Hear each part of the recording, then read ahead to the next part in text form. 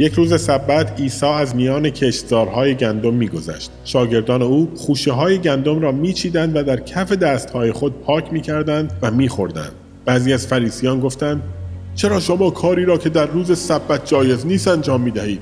عیسی پاسخ داد مگر نخوانده اید داوود در وقتی که خود و یارانش گرسنه بودند چه کرد؟ او به خانه خدا وارد شد و نان تقدیس شده را برداشت و خورد و به یاران خود نیز داد در صورتی که خوردن آن نانها برای هیچ کس جز کاهنان جایز نیست.